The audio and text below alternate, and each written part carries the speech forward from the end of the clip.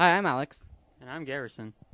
and today we're going to be reviewing The Grey. After their plane crashes in Alaska, six oil workers are led by a skilled huntsman to survival, but a pack of merciless wolves haunts their every step. Alright, so Liam Neeson is a hunter or something. I, I don't remember exactly what he does. Let's just say it's the prequel to Batman Begins. This is what he was doing before.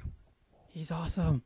Okay, so the the whole movie it's basically him and I think uh, seven other guys or something like that.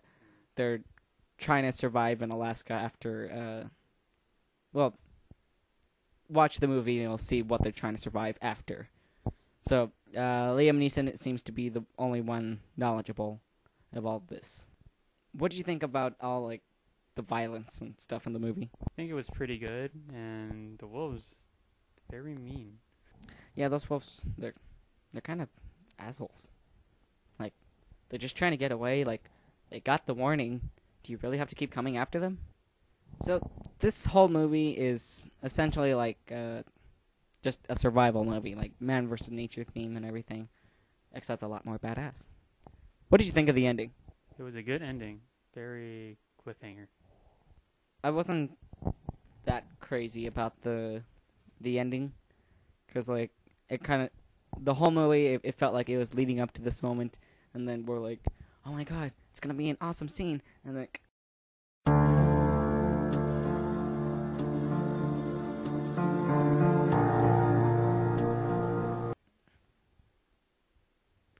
why, am i seeing the credits what just happened here no i, I want to see what happens go back to that. Don't cut don't cut it off right there. So I was a little upset about that. And make sure to stay for after credits.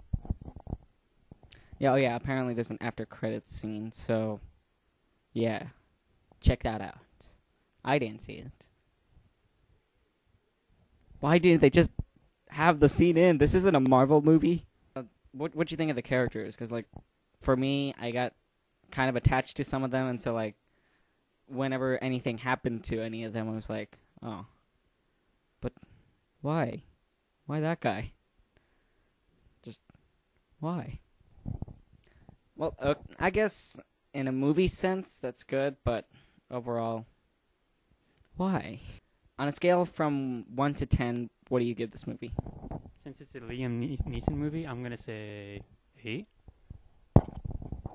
Uh, I really didn't know what to expect from this movie, so I'm gonna have to agree. I'm gonna give it an eight. What is your favorite Liam Neeson movie? Post your response in the comments below. And if you like this review, make sure to like and subscribe.